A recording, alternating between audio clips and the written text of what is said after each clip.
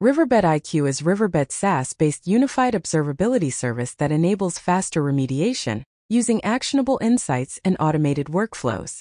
This video investigates IQ's no-code automations that mimic your organization's troubleshooting workflows and automate the collection of incident details to significantly expedite your troubleshooting processes. Riverbed IQ ships with a library of automated workflows to ensure you get immediate value with minimal effort. Here's an example of an out-of-the-box automation.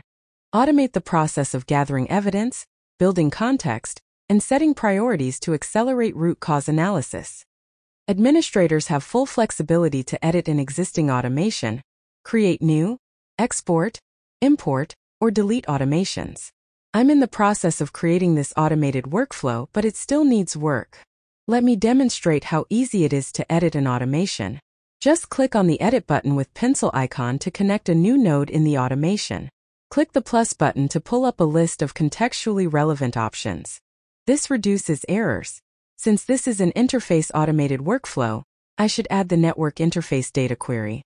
Automation nodes provide the ability to perform specific tasks within the troubleshooting workflow, and are accessed in the Node panel within the Automation Editor.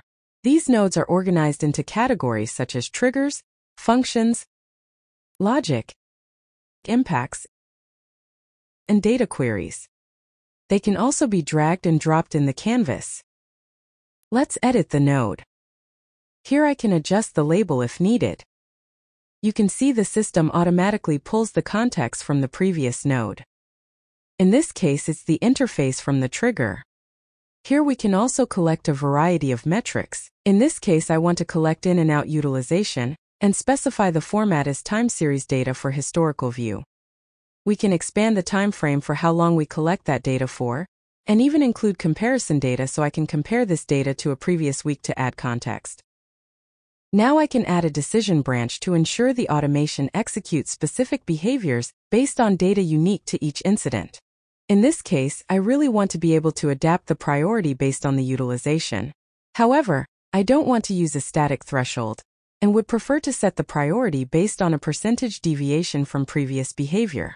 As you can see, the query builder can leverage the increase by option, allowing the automation to take advantage of the comparison data we previously collected. I think it will be best to set two paths in this case, and possibly break out the visualizations between in and out utilization so the graphs are nice and clean. Now that we have our two outputs I will set the top path to critical, and I can also quickly set the bottom path to a low priority, as this is the path the automation will take if we do not see a significant change from last week.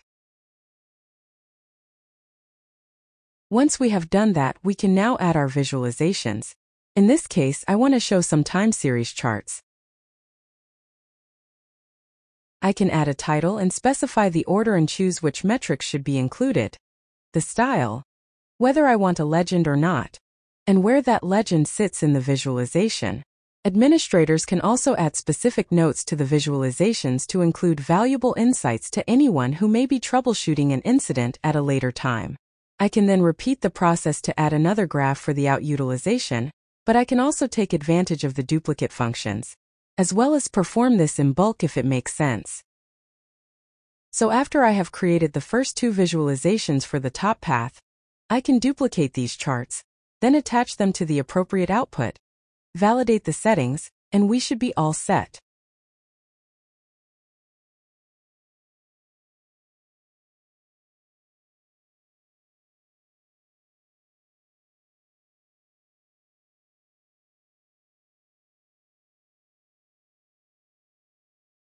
Lastly, let's preview our automation. This looks great.